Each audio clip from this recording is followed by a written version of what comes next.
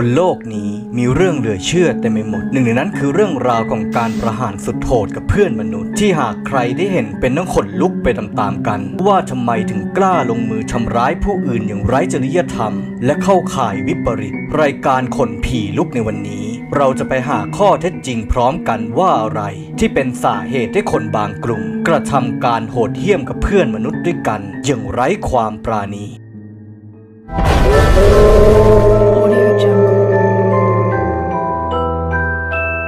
อย่างที่ผมได้เกริ่นเอาไว้ใน part ที่แล้ว ว่ามีการทดลองหลายเคสในประวัติศาสตร์ ที่ไม่ได้รับการยินยอมจากเหยื่อ ส่วนใหญ่มักเกิดขึ้นกับทาสและเชลยศึก เพื่อผลประโยชน์ทางการทหาร การแพทย์ และผลลัพธ์ทางวิทยาศาสตร์ การทดลองสุดโหด part ที่ 2 ผมจะพาคุณผู้ชมไปทำความรู้จักกับ 4 การทดลองสุดโหด ชนิดที่ทำให้รู้สึกหดหู่จิตตก ชนิดที่หากเป็นตัวเราเองที่โดนกระทำแบบนี้ ก็อาจเป็นบ้าไปตั้งแต่วินาทีแรกแล้วก็ได้ครับ กับการทดลองเคสแรกโปรเจกต์ 4.1 รังสีที่ปนเปื้อน โครงการ 4.1 เป็นกระบวนการศึกษาทางการแพทย์ของรัฐบาลสหรัฐ โดยทดลองกับประชาชนที่อาศัยอยู่ในหมู่เกาะมาเชล ให้สัมผัสโดยตรงกับสารกัมมันตรังสี เพื่อดูผลกระทบที่ตามมา โดยการทดลองนี้ เกิดขึ้นเมื่อวันที่ 1 มีนาคม ปี 1954 ณ ปราสาทบราโว บริเวณแนวปะการังบิกินี วิธีการคือนำเหยื่อไปปล่อยทิ้งไว้บนเกาะมาร์แชลล์ เกาะที่ปนเปื้อนไว้ด้วยสารกัมมันตภาพรังสี จากเหตุการณ์ Castle Bravo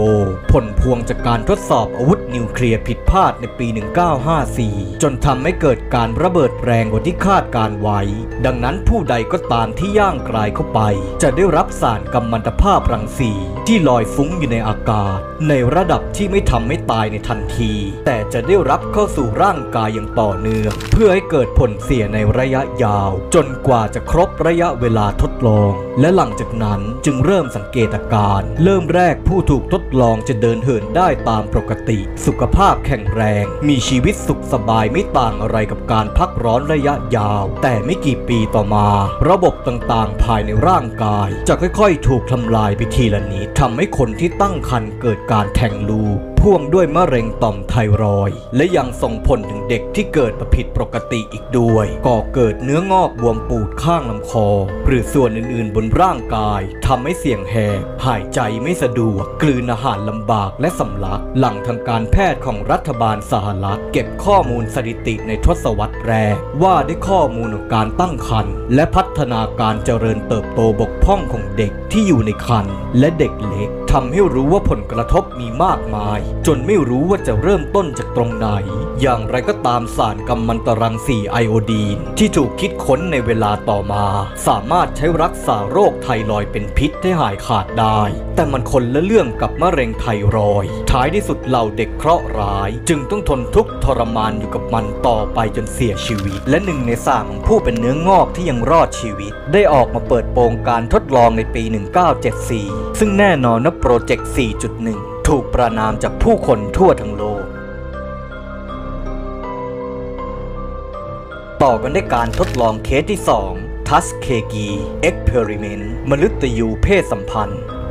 การทดลองในทัสเคกี คือการฉีดโรคซิฟิลิสหรือโรคติดต่อทางเพศสัมพันธ์สู่ร่างเหยื่อ ที่เกิดจากเชื้อแบคทีเรีย Treponema pallidum ที่ทำลายต่อมน้ำเหลืองทำให้เกิดตุ่มดอกเห็ดผุดขึ้นทั่วผิวหนัง เป็นการทดลองยาวนานกว่า 40 ปี ระหว่างคริสต์ศักราช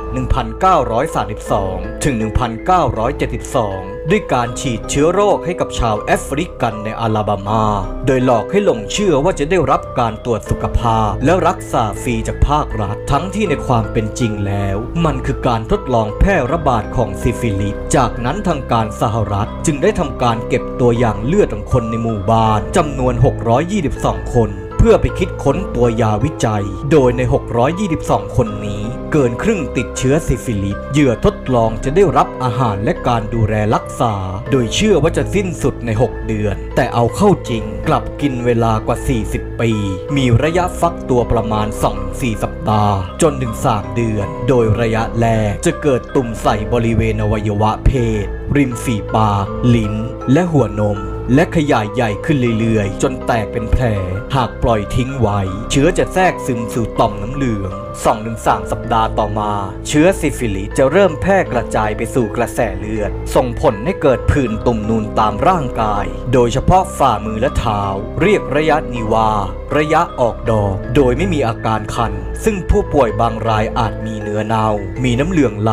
ซึ่งเป็นระยะที่ติดต่อได้ง่าย ต่อมาในระยะที่ 3 จะเรียกว่าระยะแฝง ซึ่งเป็นช่วงที่ไม่มีอาการใด ๆ เลย ดูเหมือนจะปกติทุกอย่าง จนผู้ป่วยชะล่าใจ ตรงนี้นี่แหละครับ ที่นำพาไปสู่ระยะสุดท้าย ที่เจ็บปวดเหมือนตายทั้งเป็น เพราะเชื้อที่คงอยู่ในร่างกายช่วง 2 ปีถึง 30 ปี หากไม่ได้รับการรักษาอย่างถูกต้อง อวัยวะภายในจะถูกทำลายช้าๆรวมถึงอาจส่งผลให้ตาบอด หูหนวก ใบหน้าบิดเบี้ยว สมองเสื่อมหรือเสียสติ รวมไปถึงเป็นอัมพฤกษ์อัมพาตหากทรมานน้อยหน่อย เชื้อก็อาจลุกลามไปถึงหัวใจ จนทำให้หัวใจล้มเหลวและเสียชีวิต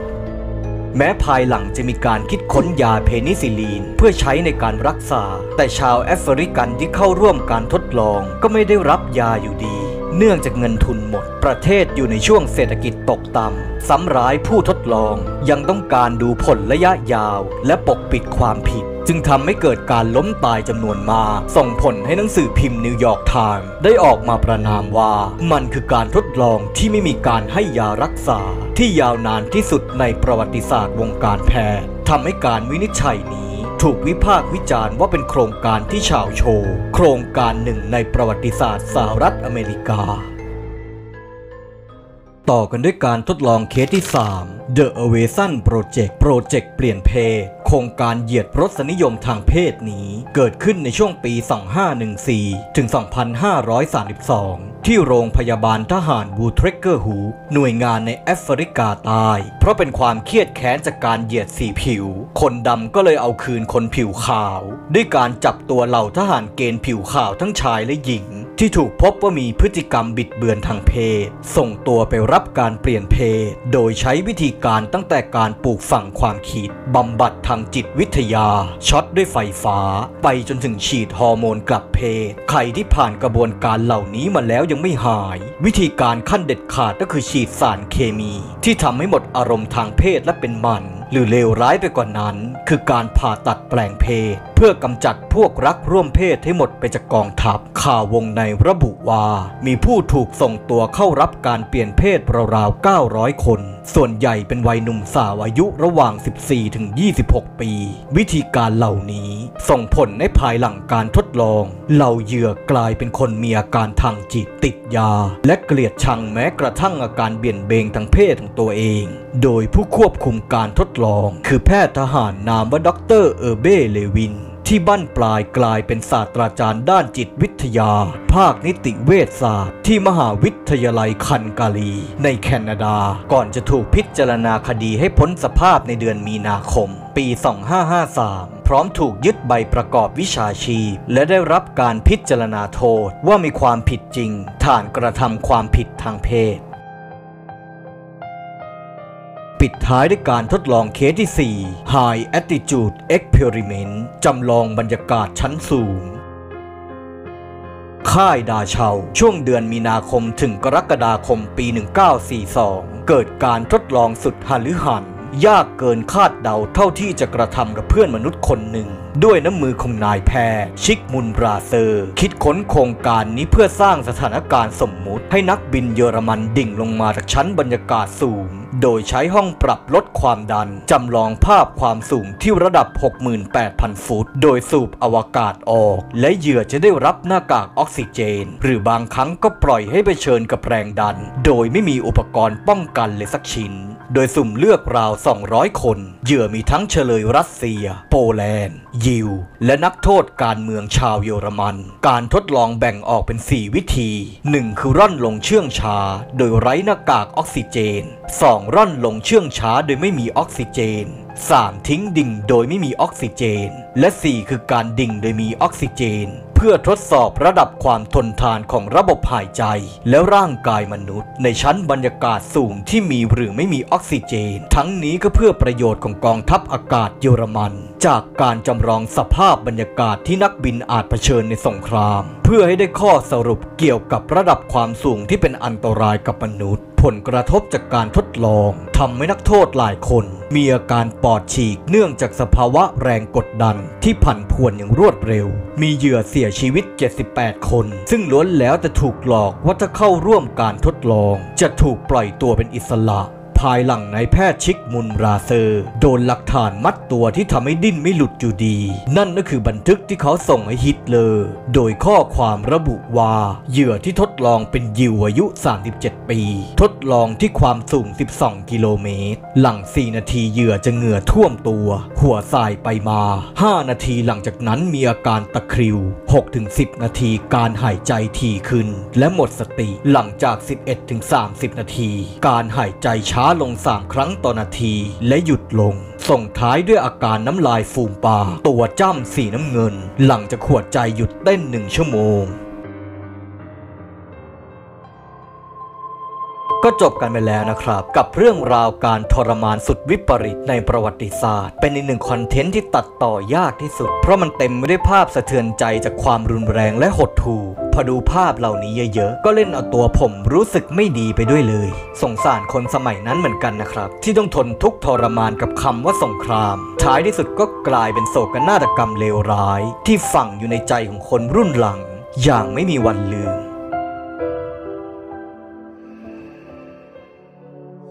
หากคุณชอบเรื่องราวเหลือเชื่อ ก็อย่าลืมกดติดตาม และแจ้งเตือนเอาไว้ด้วย เพื่อจะได้ไม่พลาดรับชมหลากหลายคอนเทนต์สุดพิลึกก่อนใคร แล้วพบกันใหม่ในคนผีลุกคลิปหน้า เพราะโลกใบนี้มีเรื่องเหลือเชื่อเต็มไปหมด